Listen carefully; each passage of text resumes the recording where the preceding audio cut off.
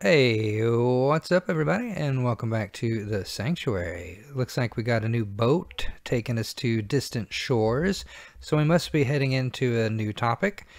Still going to be Professor C here, still going to be doing A&P, and we're still going to be talking about muscles, but we need to get into naming some muscles. Specifically in this talk, I want to tell you some tips and tricks for naming groups of muscles, So let's check it out.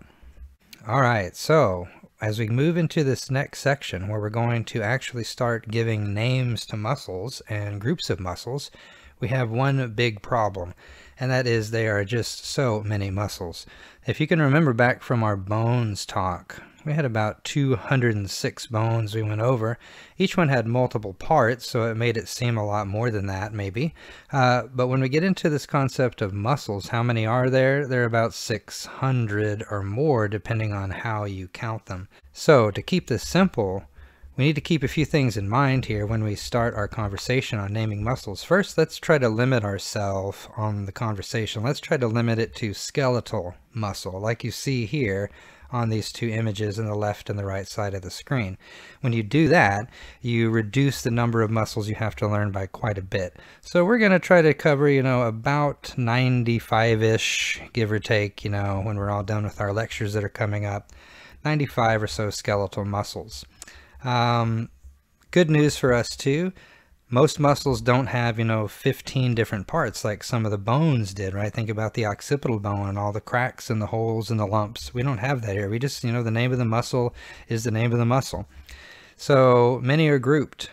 Think about, say, hamstrings, right? Or quadriceps, and they're grouped by function, location, and how they attach themselves to the skeleton. So when you kind of learn one in the group, the others will be closely associated with it. Usually, sometimes it's not, and you have to do some memorization. So the first thing we'll get into here is OIAN. It's not a word. Uh, it stands for four different terms uh, that are often talked about when you're trying to learn muscle. It certainly helps if you know your bones. So my first recommendation is if you haven't studied any of the bones lectures yet, you might want to go ahead and do that because learning the muscles some of them assume that you know the name of the bone. So O and I, let's deal with those first, the origin and the insertion. These are usually referred to as attachments, and I think we know how to spell that, but I'll just put it here just in case you want to see it written out. Attachments, the origin and the insertion. Sometimes in pictures you'll just see it written as an O and an I. Now this is not always true, but in general, the origin of a muscle is the fixed position or the part of the structure that doesn't move. The insertion is the part of the muscle that is moved when it is pulled. Okay, often you'll see a joint in between the origin insertion. So if I can draw something very simple like there's a bone and here's a joint and here's a bone, right? And you can say that's an arm and a forearm if you want to, but let's just keep it really, really simple here. Let's say we have a muscle and I'll change the color just to get some muscular color. There's some orange. Let's say we have a muscle that goes from here to here, right? Now I'm going to say the origin is here and the insertion is here. And what that means is this is the fixed position. That won't move, but when that muscle shortens, it will cause it to pull the bone where the insertion is toward it. And that type of action, where we're moving the insertion closer to the origin, uh, this is often called a flexion. And we'll get into the actions more in the next talk. Like its cousin, right? What if we did the opposite move? What if we switched the origin insertion and we did it the other way? We would have an extension, right? But we'll get into that again more in the next talk. Action, a word that I've probably used already, is makes common sense to most people. It's how the structures move through space, right? So I just gave an example of a flexion. That would be an action, and that would be a specific action in which the insertion moved toward the origin and it did such in a when as it decreased the angle between those two structures. That's called a flexion. If we were to extend the angle between the insertion and the origin, that would be an extension. Innervation is what the N stands for, and I know it's actually spelled with an I, but we use that OIAN because it's easy to take notes with if you're trying to scribble very quickly as a professor speaks to you. So we're just talking about the nerve that powers that particular muscle or group of muscles, the innervation. What innervates the muscle? What provides the nervous system connection?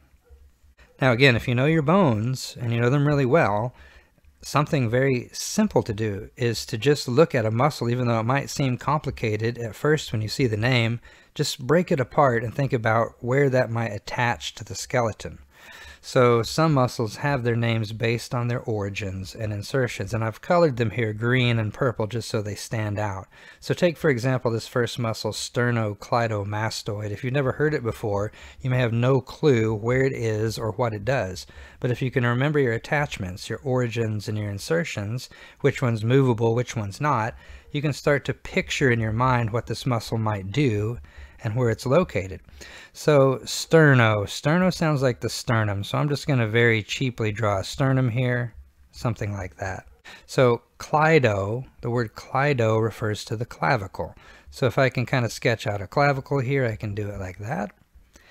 Now mastoid uh, refers to a part of the temporal bone. And if you, again, if you put your finger right behind your ear, you should be able to feel a lump of bone right back there. That's called the mastoid process.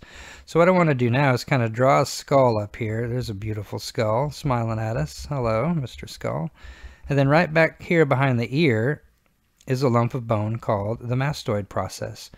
So if we have a muscle, I'll again, I'll color it yellow just for example here that runs from the sternum and the clavicle. Well, here's some on the clavicle, here's some on the sternum, and then goes up here to the mastoid process somehow.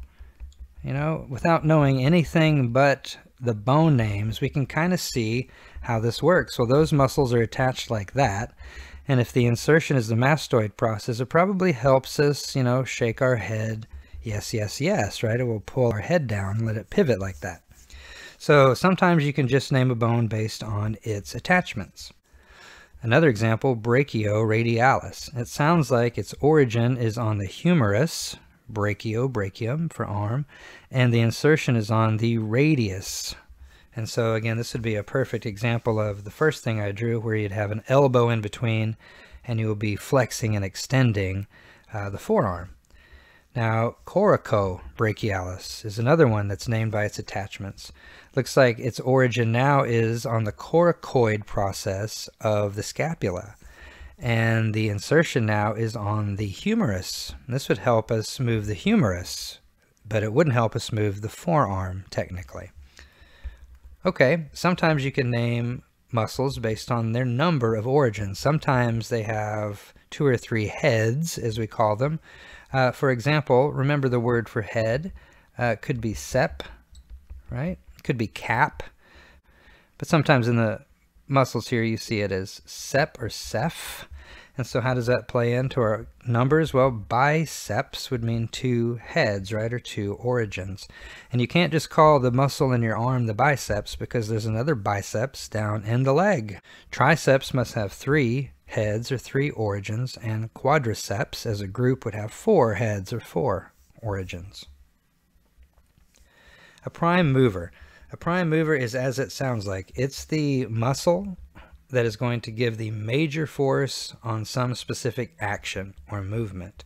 It can be called an agonist. Oftentimes when I'm doing notes very quickly or a lecture, I'll put PM next to a muscle to indicate that it is the prime mover for that particular action. And just like in literature, say you have an agonist, an agonist is the hero, there could be a villain, right, that does things to oppose the agonist. This would be called the antagonist. So if a prime mover is providing the major force, an antagonist will oppose that particular motion. Synergy, being a synergist, is always the same. It's about adding power to some kind of a system. So very simply, synergists are usually smaller muscles that add force to a prime mover if need be. A fixator. Think about the word to fix in place, not to repair to fix, but to fix into place, like cement fixing and hardening. So this concept is this. A fixator is a synergist, usually a weak synergist, small, that functions to immobilize a bone, that is to hold it still, right? Or a group of bones eh, to reduce motion. And that doesn't make sense usually when we talk about muscles. We think about muscles moving some bone, especially a skeletal muscle. But a fixator would act very much in the way that a tie down works in the back of a pickup truck. You put the cargo in, you put the net on, and you strap it down so it doesn't move, right? maybe it's an elastic net and it's got some tension in it. Uh, very similarly to the way, say, the rotator cuff muscles are arranged here. Again, we'll get into the details, but you've got subscapularis here, you've got teres minor back here, you've got supraspinatus up here, and another one behind it we can't see. Lots of structures here holding this shoulder joint together. Uh, remember that shoulder uh, the humerus inside of the glenoid cavity has a lot of freedom of rotation and movement, and you don't want that to pop out of position. So we have some fixators there to hold that down, very much like a cargo net in the back of a truck. You could name muscles if you have a group together, like we have here, the abdominal muscles, uh, by how the fascicles are oriented in space. So relative to one another, how are the fascicles running? How are the fibers running? So very simple, a rectus, think about a rectangle, right? Right, right angle, rect means right. It's running right with the body. And if I change to a white color, it'll probably help it stand out more. But right here, these muscles that I'm kind of sketching a line down, these are called rectus abdominis. That means they're abdominal muscles that run right up and down with the body. They would form your six pack or what is essentially an eight pack. Now, next to them, right here, we see some fibers of the abdominal muscles that are running, you know, horizontally relative to the rectus. These are called transversus abdominis.